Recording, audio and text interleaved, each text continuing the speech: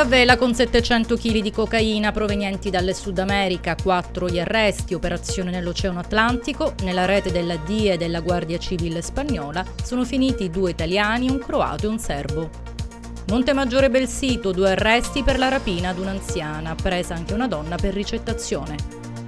Oltre 2 milioni di visualizzazioni in pochissimi giorni per il duro sfogo della docente palermitana Giovanna Corrao, che in una diretta Facebook ha commentato la tremenda vicenda della violenza di gruppo.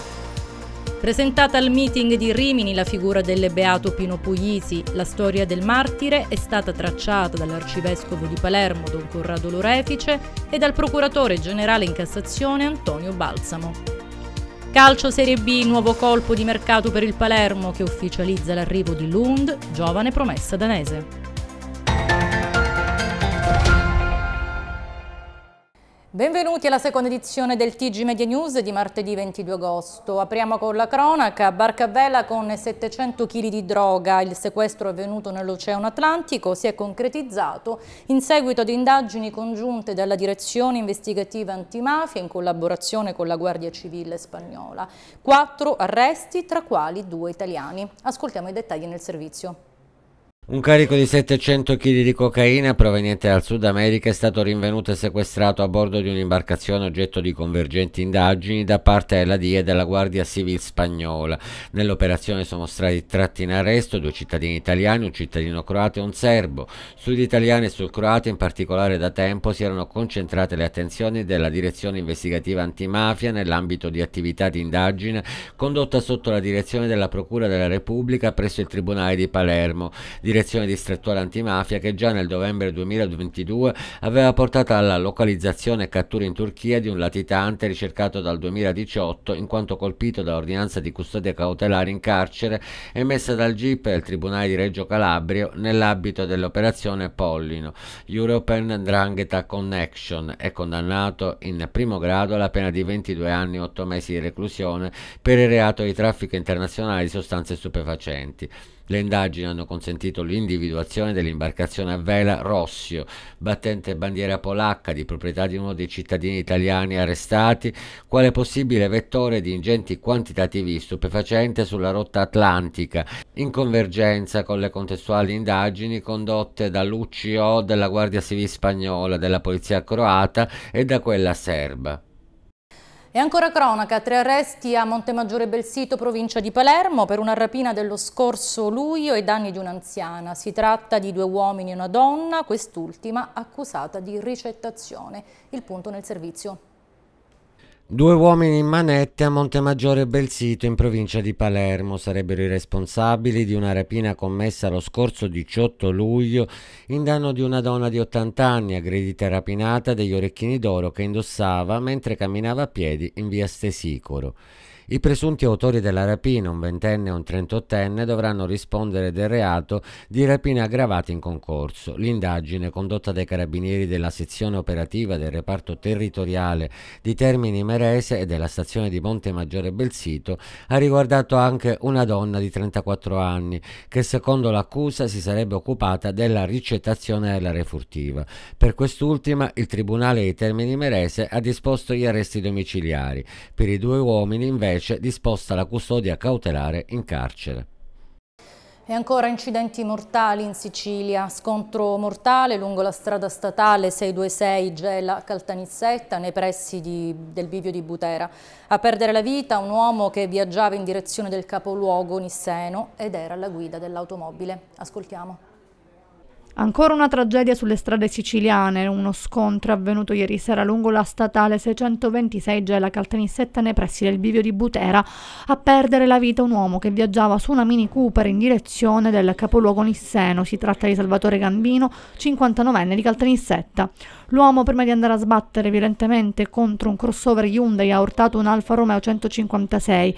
Per lui non c'è stato nulla da fare. Sul luogo dell'incidente sono giunte immediatamente diverse ambulanze, la vettura del 59enne è rimasta incastrata sotto un altro mezzo e il suo corpo era dentro l'auto, ridotto a un groviglio di lamiere. I medici non hanno potuto fare altro che constatare il decesso. Le altre otto persone coinvolte nell'incidente, compresa una giovane coppia di Gela, sono state trasportate in diversi nosocomi, quattro al Vittorio Emanuele di Gela, due al Santa Elia di Caltanissetta, uno al Suor Cecilia Basarocco di Niscemi e uno al Santo Stefano di Mazzarino. Nessuno di loro sarebbe in pericolo di vita. Sul posto giunti i vigili del fuoco e il distaccamento di Gela, i carabinieri e gli agenti della stradale che hanno effettuato tutti i rilievi del caso e dovranno ricostruire la dinamica dell'incidente. Oltre 2000 visualizzazioni in pochissimi giorni per il duro sfogo della docente palermitana Giovanna Corrao che in una diretta Facebook ha commentato la tremenda vicenda della violenza di gruppo affrontando anche con l'occasione il ben più grande tema del difficile ruolo del genitore della vera e propria emergenza sociale che stiamo vivendo. A voi l'intervista. La situazione purtroppo è sfuggita di mano in maniera estremamente crudele, perché di crudeltà si parla, di malvagità si parla.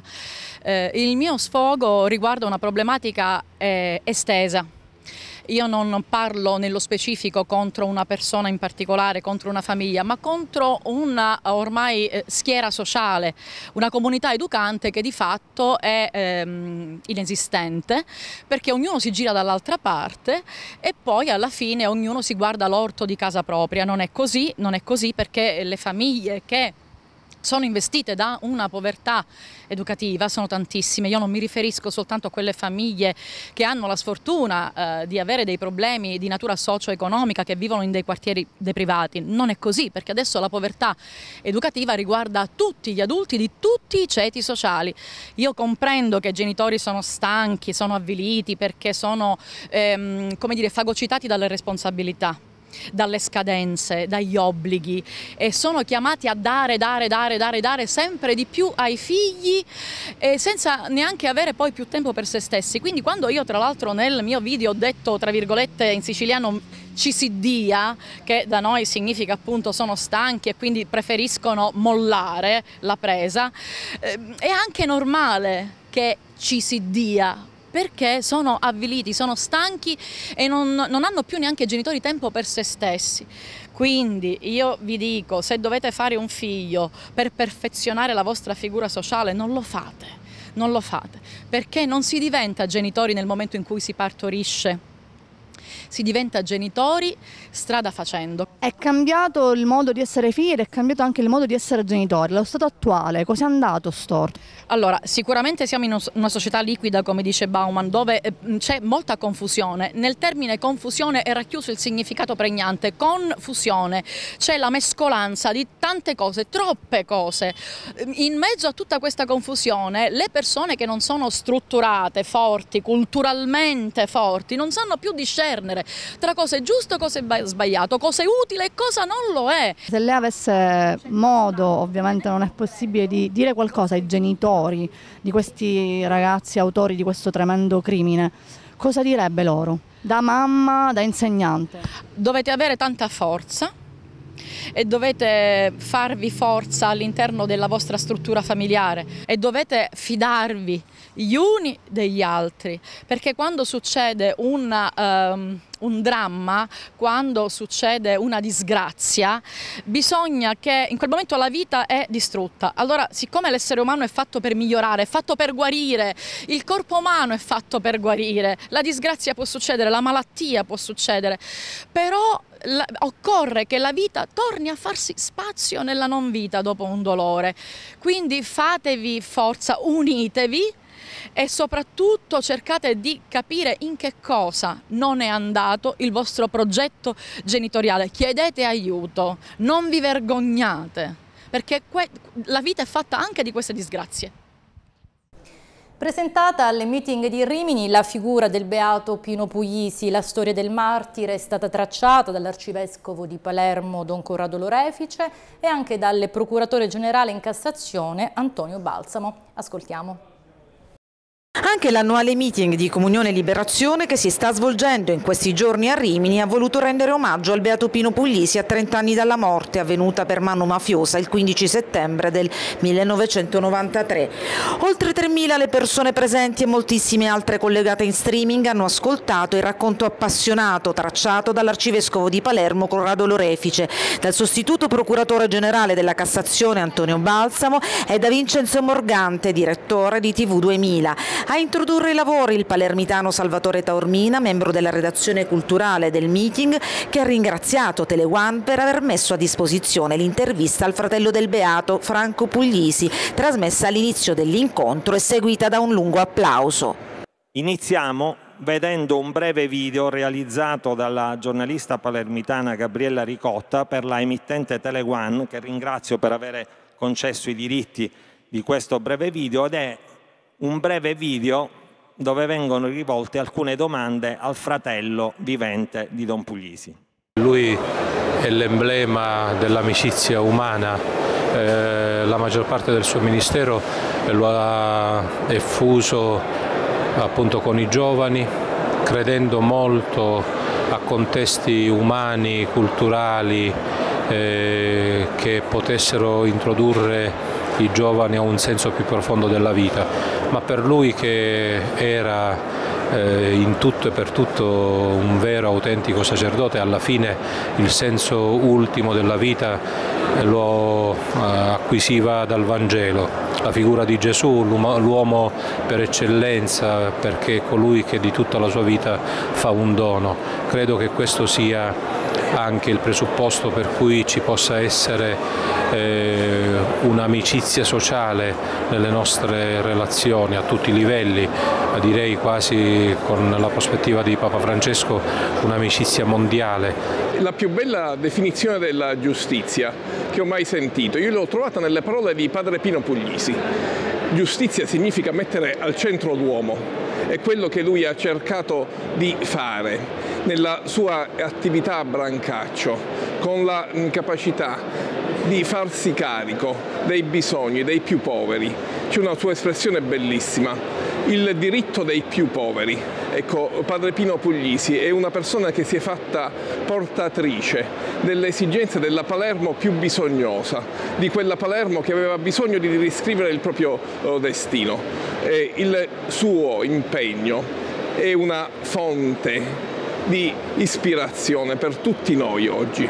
Testimone di speranza, testimone di vita, in un quartiere difficile di Palermo, tristemente famoso, Brancaccio, ebbe il coraggio di sfidare i signorotti del quartiere, i famosi fratelli Graviano, ma una sfida con le modalità e con i contenuti proprio di un sacerdote, che non era un sacerdote antimafia, era un sacerdote pro vita, prosperanza appunto, e decise soprattutto di investire il suo impegno presbiterale a favore dei più piccoli, a favore dei giovani, sollecitando loro stessi e le loro famiglie a ribellarsi ad un andazzo che diceva che la loro vita era inevitabilmente destinata ad intrecciarsi con quella della malavita, con quella della mafia e dell'illegalità. E ora torniamo a parlare dell'incidente avvenuto nei giorni scorsi a Caltagirone dove un'auto ha travolto i clienti in un bar all'aperto, dimessi dall'ospedale 4 dei 6 feriti. L'auspicio del vice sindaco Crispino, speriamo che anche gli altri due possano al più presto tornare a casa. Intanto il conducente della macchina chiede scusa. Ascoltiamo. Sono stati dimessi dall'ospedale quattro dei sei clienti del bar all'aperto nel centro storico di Caltagirone, travolti venerdì scorso da una Mini Cooper mentre consumavano le proprie ordinazioni seduti ai tavoli. Restano ricoverati all'ospedale Gravina di Caltagirone soltanto due di loro che hanno riportato ferite e traumi più gravi e comunque tali da non destare particolari preoccupazioni per le loro condizioni. Intanto l'uomo che era alla guida dell'auto, un 76enne originario di Caltagirone ma da tempo residente a Milano, denunciato all'autorità giudiziaria dagli agenti della Polizia Municipale per lesioni colpose dopo aver percorso la via San Bonaventura, potrebbe essere stato ingannato dalla scarsa dimestichezza col cambio automatico dell'auto, premendo l'acceleratore invece del freno e facendo così eh, inavvertitamente finire la macchina sugli avventori del bar. L'uomo ha scritto al sindaco una lettera indirizzata alla città con cui manifesta il proprio forte rammarico per l'accaduto. Non avendo modo per il momento di rivolgermi direttamente a quanti sono stati coinvolti negli accadimenti, la prego di esprimere il mio disagio e senso di colpa nei loro confronti, con la speranza che si riprendano il prima possibile. Nonostante non sia stata assolutamente mia volontà a recare un danno simile, chiedo scusa a tutti e spero di poterlo fare di persona molto presto. In pochi secondi so di aver cambiato la vita di alcune persone, ma anche la mia non sarà più la stessa. Un grazie va alle forze dell'ordine e ai sanitari per il loro celere ed efficace intervento. Nel prendere atto dei contenuti della lettera dell'uomo, il vice sindaco di Caltagirone, Paolo Crispino, a nome dell'amministrazione comunale si dice felice per le dimissioni dall'ospedale di quattro dei feriti e ribadisce l'auspicio che anche gli altri due nostri concittadini ancora ricoverati possano nel più breve tempo possibile tornare a casa lasciandosi così alle spalle la spiacevole esperienza vissuta. E ancora altre notizie, ci spostiamo a Santa Venerina, a Borgo Cosentini nel Catanese, conferenza sui rischi geologici e pregi ambientali della regione Etnea. Vediamo il servizio. L'Etna, il più alto vulcano attivo d'Europa, collocato sul versante orientale della Sicilia, domina con i suoi 3.357 metri di altezza la provincia di Catania. Il vulcano e la sua lunga storia raccontano le relazioni tra l'impatto delle eruzioni, il processo di civilizzazione e lo sviluppo urbanistico. La sua maestosa figura si può ammirare anche da Cosentini, frazione di Santa Venerina. Domani, mercoledì 23 agosto alle ore 20 in piazza Cosentini si terrà un'interessante conferenza per una maggiore conoscenza dell'Etna su rischi geologici e pregi ambientali della regione etnea, organizzato dalla comunità parrocchiale Maria Santissima del Rosario di Cosentini con il patrocinio del comune di Santa Venerina. Il piccolo borgo legato indissolubilmente all'Etna, quindi, è il risultato di una lunga e complessa storia di eruzioni, caduta di lapiglie, sabbia nera e terremoti, non ultimo il sisma del 26 dicembre del 2018 che ha portato le abitazioni, le imprese e la chiesa con annessi locali ad essere dichiarati inagibili a causa di ingenti danni. Oggi il paese sta rinascendo grazie all'aiuto degli stessi abitanti e delle somme stanziate finanziate per la ricostruzione.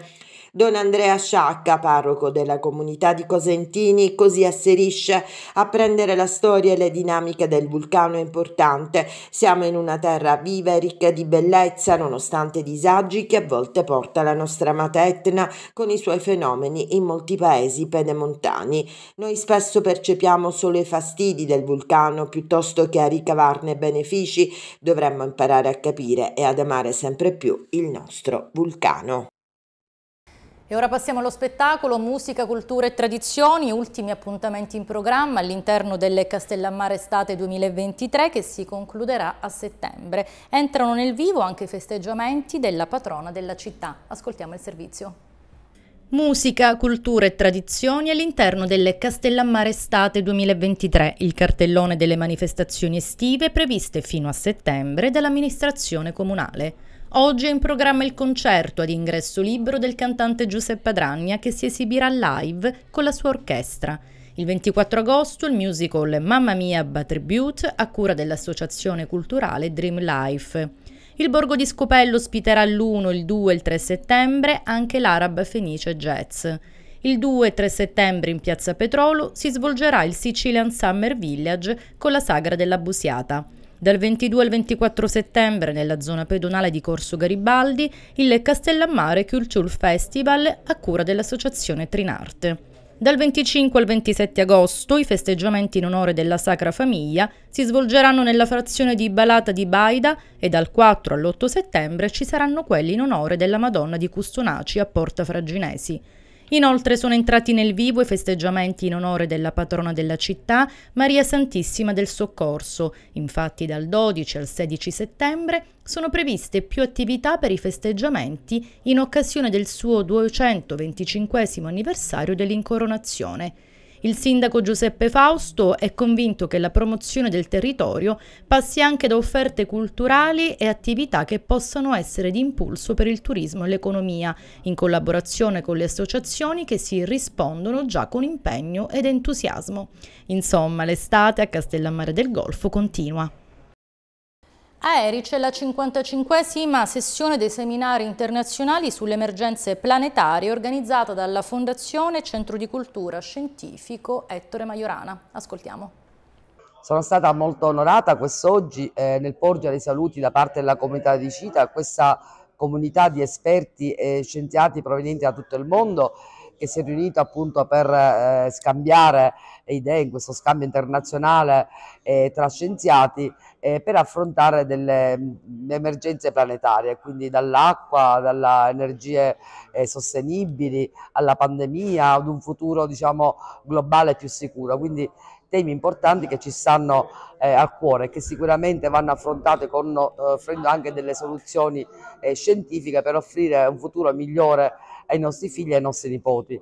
E, ehm, chiaramente dobbiamo ricordare che questo luogo eh, rappresenta un faro luminoso per la comunità eh, scientifica e non solo, lo è stato negli anni, ricordiamo ad esempio eh, quando il professore Zighichi, quando si temeva che potesse scoppiare una, una terza guerra mondiale, eh, in particolare diciamo, atomica, eh, riunì gli scienziati di tutto il mondo, in particolare russi e americani, ed eh, diciamo, affrontarono con i rispettivi responsabili dei programmi eh, nucleari, affrontarono questa tematica per diciamo, rivedere eh, quello che erano i protocolli e eh, in quell'occasione eh, Paul Dirac, a cui è dedicata eh, l'aula appunto diciamo, dove si svolge il seminario, eh, redasse un documento firmato da 90.000 scienziati e quindi da qui il luogo di pace e sicuramente Edice in generale luogo di pace e di cultura scientifica perché appunto di riferimento per la comunità scientifica e questo diciamo, è un riconoscimento eh, sicuramente unanime e convinto.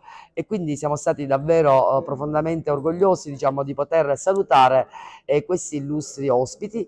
E, tra l'altro ricordiamo che quest'anno eh, ci sarà, diciamo, festeggerà la fondazione 60 anni di attività e appunto queste attività che negli anni hanno svolto eh, questo ruolo diciamo assolutamente importante che ha proiettato Edice eh, a farlo conoscere in tutto il mondo. Nasce dalla sinergia che in questi anni abbiamo cercato di mettere assieme con tutta una serie di attori.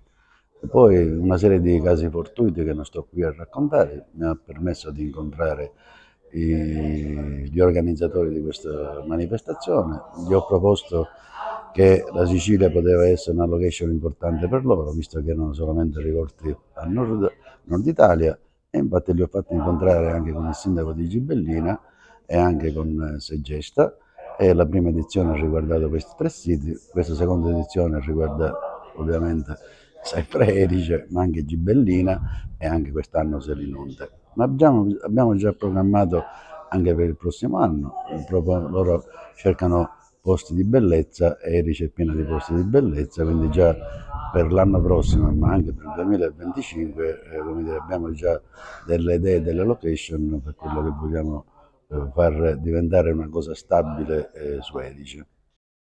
Dal primo settembre riparte ai giardini Naxos la lunga maratona di Naxos Legge, tredicesima edizione del festival delle narrazioni, della lettura e del libro diretto da Fulvio Toscano. Ascoltiamo.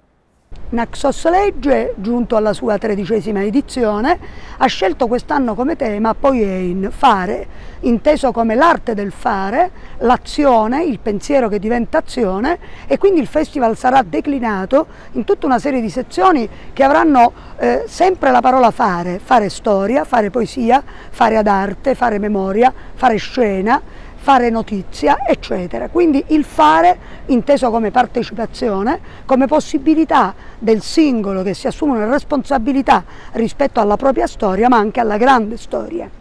Andando un po' più nel programma, nel palinsesto del festival, possiamo citare una serie di giornalisti importanti come Alessandro Gnocchi che verrà a raccontare il suo nuovo libro dedicato a testori di cui quest'anno ricorre un importante anniversario. Avremo due importantissimi reporter di guerra, Fausto Biloslave e Gian Michalessin, che racconteranno al Medico Grills a Catania, ma anche incontreranno i giovani per raccontare l'esperienza del fronte, della prima linea. Avremo poi un momento importante dedicato a Tolkien in collaborazione con il CEPEL, il Centro per il Libro e la Lettura del Ministero e quindi avremo la presenza di Angelo Cappello, di Luciano Lanna e di Oronzo Cilli, uno dei massimi studiosi di Tolkien di cui quest'anno appunto ricorre anche un importantissimo anniversario. Avremo Marina Terragni, una giornalista importante con cui affronteremo un tema molto delicato che è quello dell'utero in affitto e del problema del corpo delle donne. E ancora spettacolo al centro della programmazione di domani e dopodomani del Segesta Teatro Festival sono la danza contemporanea e le note ricercate, al tempo stesso popolari, che sfidano i confini del tempo, giunti all'ultima settimana di programmazione. Ascoltiamo. Dalla Grecia antica all'Est Europa, due concerti imperdibili al Tempio di Segesta. Domani alle ore 21 appuntamento al Tempio con il concerto In viaggio dall'Europa ai Balcani di Nubras Ensemble, formazione internazionale votata alla costruzione di un ponte tra musica colta occidentale e le tradizioni sonore di Balcani e Medio Oriente, unendo musicisti under 35 provenienti dal mondo della classica, del jazz e della musica popolare. Nubras in arabo è la lanterna di chi apre nuove strade e molteplici sono le strade percorse dai componenti di un ensemble che riunisce un trio d'archi tutto al femminile. Una violonista veneziana, una spagnola, una violoncellista polacca, un sassofonista trentino, un percussionista e un fisarmonicista napoletani. Sono strade dove lasciarsi andare a danze bulgare e ad ascoltare suite rumene e brani di tradizione serba e macedone. Giovedì il 24 agosto, doppio appuntamento. Alle 19.30 al Teatro Antico arriva la danza contemporanea di Sofia Nappi, coreografa indipendente per importanti compagnie internazionali, presentando al Segesta Teatro Festival le due coreografie in successione, Dodi e Ima. Il primo, un duetto che trae il titolo dall'ebraico Dono, mio amato, e ha ottenuto numerosi riconoscimenti internazionali, parte dall'esplorazione dello stato di tormento e insoddisfazione che maggiormente plasma l'esistenza umana il desiderio costante di quel qualcosa in più nelle nostre vite può spesso produrre un senso di solitudine e quindi paura. È un titolo che rimanda ad altre lingue anche quello della performance ima, termine giapponese che indica il momento presente, mentre in aramaico ed ebraico ha anche il significato di madre nella sua eccezione di rinascita e rinnovamento. Il quintetto, afferma la coreografa Nappi, è stato immaginato durante il periodo di distanziamento sociale. A seguire alle ore 21 al Tempio si presenta in prima nazionale il concerto Teleion del duo Lopez-Arevalos, un viaggio indietro nel tempo nei territori della musica greca antica reinterpretata con sensibilità contemporanea e strumenti ricercati. La formazione composta dalla cantante e attrice Camilla Lopez e il pianista compositore Matteo Ramon Arevalos in questa occasione si focalizza su 12 opere di musica greca antica liberamente trascritte. Il Segesta Festival è sostenuto dal MIC, Ministero della Cultura, e promosso dal Parco Archeologico di Segesta che comprende i siti di Custonaci, Contessa Intellina, Poggio Reale e Salemi. I biglietti sono disponibili online sul sito del Segesta Teatro Festival o al link www.vivaticket.com, su coopculture.it o acquistabili al botteghino del parco. E ora veniamo al calcio, Serie B, nuovo colpo di mercato per il Palermo che ufficializza l'arrivo di Lund, giovane promessa danese, Rinaudo al lavoro per altri obiettivi di mercato. Ascoltiamo il servizio. Ed anche l'esterno sinistro è arrivato. Il Palermo prosegue con i movimenti di mercato accogliendo in organico Christopher Lund. Il difensore danese classe 2002 giunge in Sicilia dall'Aken dove già quest'anno, dopo la vittoria del campionato in Svezia, ha disputato le prime partite di qualificazione alla Champions League e all'Europa League. Sul curriculum della giovane promessa anche alcune presenze con la nazionale under 21 della Danimarca. Nella prima giornata a Palermo per Lund la visita al Renzo Barbera ed al Museo Rosanero da dove il difensore ha condiviso le prime immagini sui social. La dirigenza continua intanto a lavorare per altri obiettivi, fra i più importanti rimane sicuramente quello di un centrocampista con doti offensive. Il sogno era quello di Prati, che ha però sposato la causa del Cagliari, e sul taccuino era rimasto anche il nome di Verre, che la società ha però deciso all'inizio del mercato di non riscattare. In attesa della prossima sfida di campionato, intanto i Rosa possono tornare a riabbracciare i propri tifosi con la sfida amichevole contro il Melita, formazione della Serie B maltese che il Palermo sfiderà in amichevole giovedì sera al Renzo Barbera. E intanto la Lega Serie B ha reso noti orari e date della quarta giornata, quella in cui la squadra di Corini, che salterà la seconda, farà il proprio esordio al Renzo Barbera. La prima in casa nel nuovo campionato contro la Feralpi Salò si giocherà sabato 2 settembre con fischio d'inizio alle 18.30.